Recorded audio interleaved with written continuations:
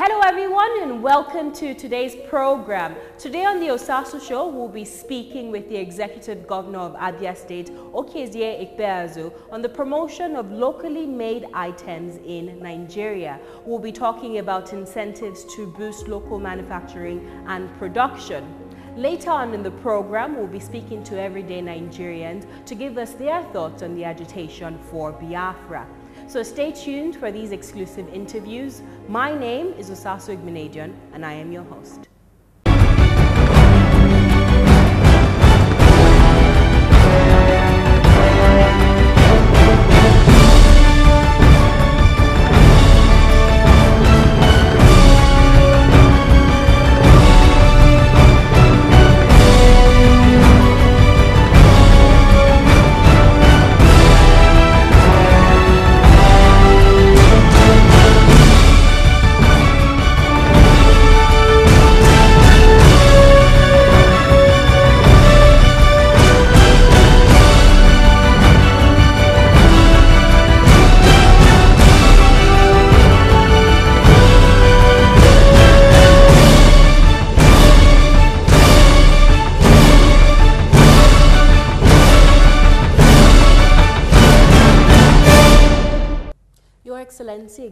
Executive Governor of Abia State, Okezie Ikpeazu, thank you so much for joining us in today's program of the Osasu Show.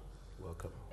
Sir, the federal government has made concerted efforts to diversify the economy by reducing Nigeria's dependence on oil and uh, promoting locally made goods, such as uh, producing more agricultural products and commodities. How do you reckon uh, the government is able to balance lip service versus actually implementing policies that would create uh, a conducive work environment for local production to thrive? Uh, incidentally, I want to start by saying that I think that government is sincere in their desire to do that. But I, I, I will also call for more commitment. You, you have to walk the talk all the time. Um, our problem in Nigeria is more attitudinal than, it, than anything else. Mm -hmm. Our people still feel that uh, our, our, food and our products are largely inferior. So we think that um, it's a mark of sophistication to be completely westernized, both in the things we wear, even how we speak, and the things we eat. But some of us are saying that um, uh, there is no uh, real development without, without you know, huge or uh, good or robust socio-cultural input. Mm -hmm. You must develop according to your cultural trend because uh, you, you can't be better than somebody learning from that person. You know, it's always difficult, but you can be the best in what you can do, driving from your socio-cultural antecedents and all that. This is my way of saying that um, uh, to, to start with, I do not know why Nigerians are still eating imported rice. I don't understand it. For over 18 months since I became governor, I have, I have not eaten imported rice. In fact, I have not eaten rice. I've been off rice. Um, and this is my way of demonstrating why should we be spending 2 million US dollars every day on rice? Uh, if you multiply 2 million US dollars by 500, you know how much we are throwing away. So if we put rice off our table, just rice, we'll be saving $2 million. Same thing with ketchup. Same thing with salad cream and all that. Uh, and um, uh, even in the state house, we should see imported rice disappear. Because if you go overseas, nobody cares about what you eat. If you can't find a bar and you can't find a fried plantain, you can't find a wedu, that is your business. Mm -hmm. You either eat what they serve you or you starve. But how so, is the government creating enabling policies for local production to thrive in the sense that, yes, we're talking about stopping the import of rice and stopping the import of other, you know, foreign items. However, our industry, we don't have the capacity. We still lack power, we still lack water, we still lack basic infrastructural development that would help local production thrive. For goodness sake, this is a country of 160 million people at least. Um, export is good, but what about satisfying the local market? 50% of Nigerians buying off Nigerian shelf will make a lot of sense in our GDP. And the other thing it will do is that this huge demand, this huge market of 160 million people, driving production, driving productivity, will eventually dovetail to expertise. our people will, will become more confident and will become better in what we do. Mm. Policy has ever been a problem with this country. We've come up with the best policies all over the world. Implementation. Rolling plus. Implementation mm -hmm. is the problem. Mm -hmm. That is why I said that the first place to start is to walk the talk. Let's stop this over sophistication. I am sure you're aware that the Nigerian military just placed order for 50,000 pairs of boots from Aba in Abia State, and that is good. Yeah. That is good. It is up to us to make sure that we produce up to standard and then go ahead to also ask the military, the customs, NYSC and all that to order uniforms and boots and belts from Nigeria. Mm -hmm. And speaking of Aba, which is the commercial hub of Abia State, and dare I say Nigeria at large, is best known for its craftsmanship. Um, in operationalizing the ECOWAS protocol on free movements of persons, uh, which promotes sub-regional trade and development, Nigerians can be certain of an economic boost. So as governor, what infrastructure have you put in place to ensure that Abia and Aba in particular can champion and take advantage of this sub-regional demand for trade amongst West African countries? Well, I, am lucky to, to, to be the chief servant of Abia State today because since the past 20 years, Abia has been on the forefront for export, at least within the West African sub-region. As I speak, 20 vehicles leave the shores of Abia State every day to either Togo, Ghana, and all that. You know, laden with made in Aba, made in Abia products. But uh, we could do more in terms of going back to your first question. Power infrastructure is key. And I think the way to go is for us to divide and conquer. Let us move away a little bit from, let us unbundle the power sector completely. Move away from this uh, huge uh, uh, power demand of Nigeria mm. as a whole. Can't we do modular uh, uh, power stations? Can't we do small, small power units for industrial clusters and all that? Can't we separate power supply for industrial clusters and power supply for domestic purposes? Because the power we Nigerians yearn for, we can't even pay. Because we're looking for power to watch TV, we're looking for power to listen to radio and watch movie and all that. And that can't pay for power really. You know, in other places, domestic power consumption is highly subsidized by the industries that pay for power, you know, revalue. Mm -hmm. So I, I, think we can break down these power issues. We have uh, inputs that can generate power. In Abia State, for instance, there's no need why we shouldn't have power because we are richer in gas than we are in oil. And, um, and I think that even providing power through bottled gases, you know, battery of gas cylinders can be you know, placed in a place, and then uh, power can be generated therefrom. And uh, we could go that way. Definitely, Your Excellency. But in your 18 months as governor, what have you done? What infrastructure have you put in place to ensure that what, what? Uh, Abia is championing this, uh, this uh, sub-regional demand for trade? Quite quickly, I'll tell you this. We, we started by setting up uh, Abia Marketing and Quality Control Board. The idea is to arrange our SMEs into um, cooperative societies, into units, aggregate units that can access funds from Bank of Industry, that can be trained, you know, that can be met and spoken to in terms of capacity building. And we are building an ultra-modern leather cluster, which is uh, like 50% completed as I speak, where power will be provided, authority power will be provided, where a common facility center we provided for finishing our products because we need to finish and package properly for international market and for local market also. And um, we have gone to the next step because moving people from one industrial area to the other is usually not an easy thing in our environment because people are culturally and emotionally attached to where they started their businesses and they, do, they don't want to move. So we are going to do or we are doing already in situ development in those clusters. They're not looking very beautiful, but we want to do the roads, we want to provide electricity, we want to provide ICT center, and we've gone ahead with a pilot in Umuehilebu Industrial Market in Aba.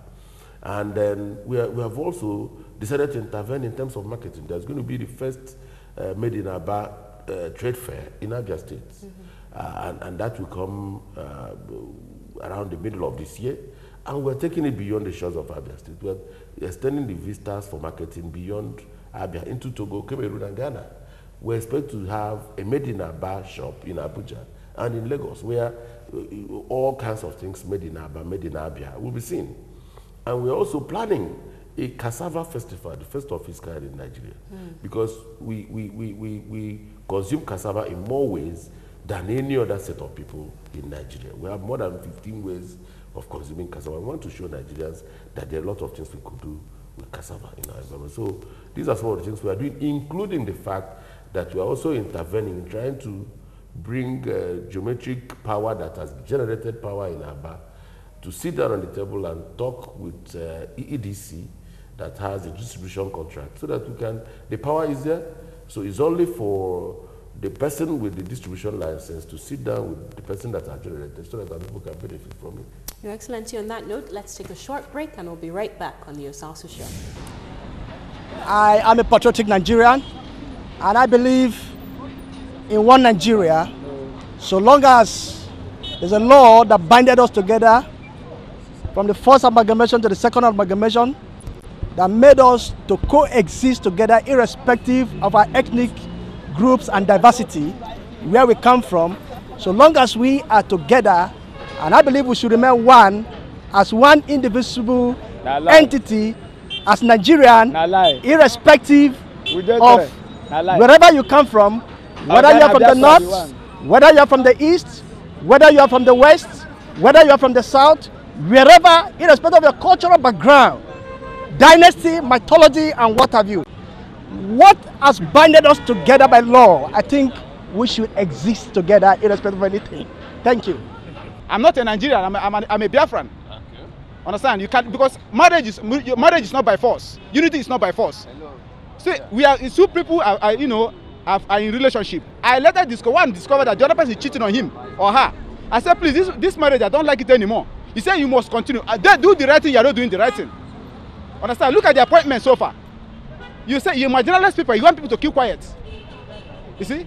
So how can how can Nigeria, how, how, Nigeria is not one, and by the look of it, according to United Nations, um, there's something called amalgamation. 20 uh, uh, uh, December uh, uh, 2013, 31st uh, December 2013 is when amalgamation expired. And after people that when people fight for uh, for for their freedom, after 25 years, those people are, are free to go. But Biafra in particular, they are they have overstayed, and they, they are killing them secretly. Some say Africa's golden era is gone. A time when great African kings and queens built their dreams into empires stretching across the continent and beyond. But we say a new era is upon us. A new set of African kings and queens are on the rise driven by the same wealth of character as the kings and queens before them. Building new empires of enterprise with the right partnership. So rise up wherever you are, new kings and queens of Africa. Embrace your full potential and be proud of your heritage. Heritage Bank, your timeless wealth partner. Welcome back to the Osasu Show. Still with me is the Executive Governor of Abia State, Okezie Ikpeazu. Thank you so much for sitting tight, sir. Thank you. You're most welcome. So, the Made in Nigeria campaign has grossed over 750 million naira thus far since its launch in 2016. Uh, you've mentioned previously that you would also like to expand the reach of the campaign to other commodities and areas of business. For example, you talked about partnering with private uh, sector to create an Abia leather and garment industrial city in Ab Aba, which will obviously create jobs and boost the economy of the state and increase its internally generated revenue. Uh, most investors, though, worry about the tediousness of attaining or obtaining, I should say, the uh, certificate of ownership for land, CFOs, uh, access to electricity, as we've talked about previously on the show, and clean water, just to name a few things. So, given the fact that Abia suffers these challenges, how do you intend to attract international and local investors to Abia State? Oh, yeah, thank you. You see, we, we, we had a well laid out plan for uh, economic development of Abia State. We knew we were going to run strong on trade and commerce as well as small and medium scale enterprises. And that was why my first project was to embark on the building of a purpose-built one-stop shop. This building is ready for commissioning. It could have been commissioned on the day the acting president came to town. And I'm sure within the next uh, uh, few weeks, um, somebody will come and officially commission it. Okay. And um, the one-stop shop is supposed to handhold all would-be investors uh, in Abia. Just when you come into Abia, you walk into the one-stop shop and lay your problem on the table and desk of the one-stop shop. And uh, you can be sure that within a few days, uh, you'll be up and running in your business from land acquisition to groundbreaking. And um, my, my mandate to the operators of the one, by the way, the people that will populate the one-stop shop are private sector people, people we uh, drew from banks, from uh, big blue chip industries. Even some came from um, outside Nigeria to help us run the one-stop shop and train our people. We're going to have inputs from line ministries, Ministry of Land, Ministry of Environment, Ministry of Works, um, Ministry of Trade and Commerce, all of them will have desk. And we are suggesting that the line ministries and regulatory agencies um, at the federal level uh, can also come and set up a desk in our one-stop shop. What I mean by that is CAC uh, can come and, you know, um, apart from NAFDAC, Standard Organization of Nigeria, and all that, so that um, one can answer all questions in that building. In that building. The mandate is for, uh, I, I told them, well, assume somebody is coming from Japan and the person is, uh, he doesn't understand English, doesn't understand vernacular, and um, he's probably dumb also. Make sure you get him uh, to start his business in two weeks. So, So it's a very hard task and rigorous ex- training that you exactly. put them through. Um, I think by the time we end it, we, by the time we start running, Abia should be in the first 10 in terms of uh, scale of ease of doing business in Nigeria. Okay, and security is another major challenge. Recently, uh, the, your predecessor, the former uh, governor's uh, media aide, Theodore Orji's media aide, was kidnapped and killed in cold blo- blood. So, what security measures have you put in place to, number one, ensure that the perpetrators of this crime are brought to books, and number two, uh, curtail the kidnapping and crime situation in Abia? Well, the, the, the death of um, uh, Ben Onyeche, my personal friend, we were in university together, uh, is, uh, came to me as a rude shock, and uh, I pray that uh, well, his soul will rest in peace. But um, we, Abia is at the confluence of seven states in the southeast and south-south, and I must admit that we've had our fair share of our security challenges. But as I speak, um, in the last five months, we've not had any incident of uh, violent crime, robbery, kidnapping, and all that. Um, I'm not saying that uh, we are in Canaan land now, because Ben was shot, you know, very unfortunately, that is where he comes from. Um, but but the, the, the, the, the, the pulse of crime in River State, pulse of crime in Imo, pulse of crime in Abia, pulse of crime in Akwa Ibom, uh, Ebonyi, because we share borders, um, somehow uh, is dynamic and in a state of flux. So, uh, but what we have done is to put gatekeepers in our communities. Okay. And these gatekeepers alert us because I started the uh, initiative of recruiting 10, 10 youths per community to assist the police as whistleblowers and to alert us and tell us about uh, security breaches and new faces and people that are returning, you know, and uh, we, we, we, we, are, we are very, very vigilant in dealing with that. I also recently acquired um, uh, a communication equipment that enables us monitor um, police outputs at the borders of Abia.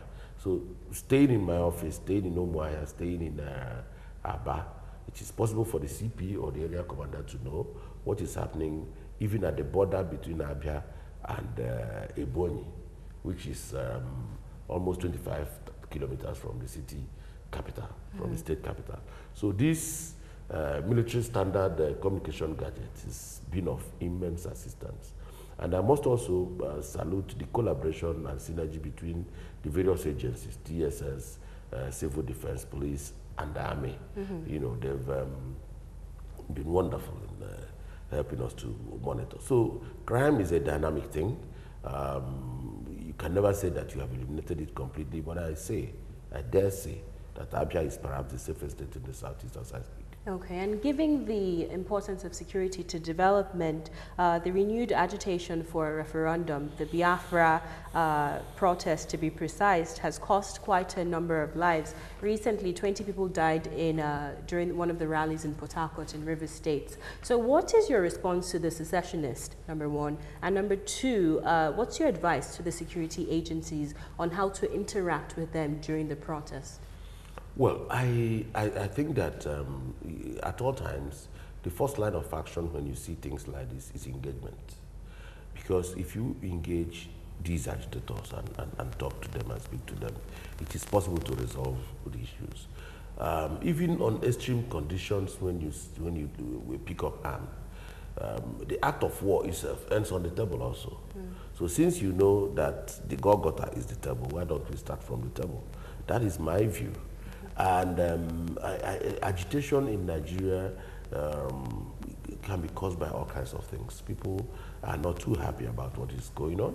And uh, we, we, have gaps in communication. People uh, uh, hardly understand government policies and why certain things are not as easy as they're supposed to be today. But there is need for us to engage and continue to talk.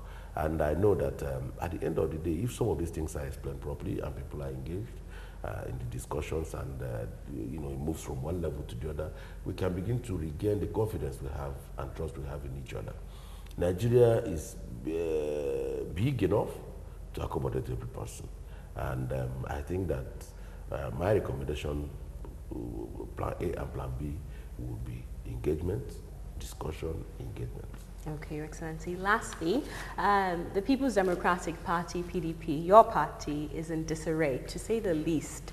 Zoning into your state, yourself and Dr. Samson Uchechukwu Ogah, both members of the PDP, are currently battling in the Supreme Court due to the High Court's judgment which found you guilty of tax related offences and as a result deemed you unqualified to have contested the 2015 gubernatorial elections in the first place.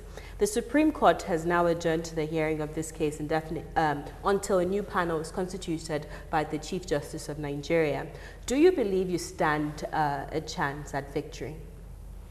Oh, yes. Um, without uh, uh, looking into the matter that is before uh, court of competent jurisdiction. There are four questions which I would like to ask.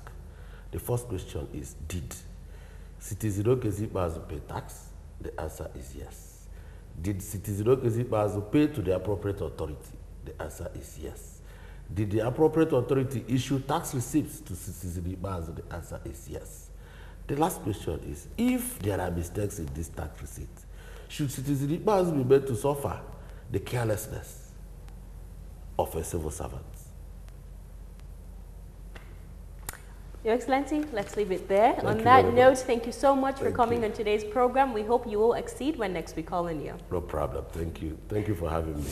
That's it for today's program. To find extended clips from these interviews, you can visit our website, television network at tostvnetwork.com. You can also follow us on social media at The Osasu Show and at tos.tv on Instagram, Facebook, and Twitter.